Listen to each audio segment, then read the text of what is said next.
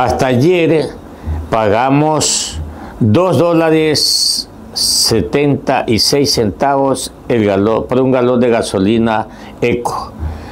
A partir de hoy 12 de septiembre hasta el 12 de octubre pagaremos 2 dólares 59 centavos. Quiere decir que hoy vamos a pagar hasta el 12 de octubre 17 centavos menos en relación a ayer. ¿Qué va a pasar ahí? Bueno, ojalá pase que el servicio de taxi baje su precio, ejemplo, o que todos los bienes de primera necesidad bajen un poco los precios debido a que los transportes bajarían los precios. Lamentablemente no lo podemos decir que eso sea una realidad.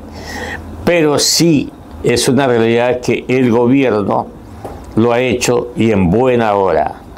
En buena hora porque esto nos da una idea que el gobierno está por abaratar o por mejorar el nivel de vida de los ecuatorianos en relación a sus presupuestos.